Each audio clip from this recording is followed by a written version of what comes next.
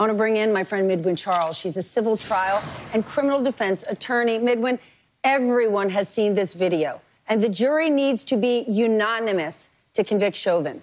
What will the attorneys be looking for in potential jurors, and how important is the makeup? Stephanie, you're right. I mean, I think the, the entire world has seen that particular video. As you know, there were protests in all 50 states as well as internationally. What the uh, attorneys are going to be doing in this process is called voir dire. And what they do is they ask certain questions of the prospective jurors with respect to what is their opinion on certain things like Black Lives Matter or Blue Lives Matter. And the ultimate goal of doing that is for them to come up with a jury pool that will be able to keep an open mind throughout the duration of the trial. Will these members of jury uh, be competent and will they be able to listen to the evidence, take notes, and not form an opinion until the conclusion of the trial? So the process can take anywhere from two to three weeks, uh, and both sides, the prosecution as well as the defense, will ask those particular questions.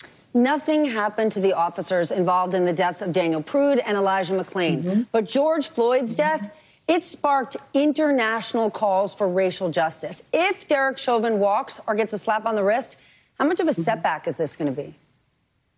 Well, I think it's a huge setback. You know, Stephanie, we just celebrated the 30th anniversary of the Rodney King beating, which happened uh, 30 years ago on video. Those police officers were also uh, not uh, uh found guilty.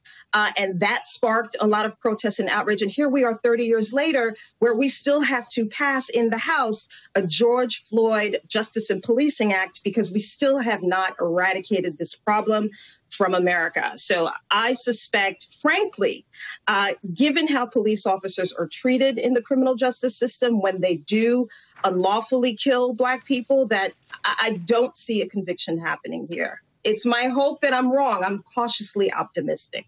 Midwin, thank you. Thank you for joining us.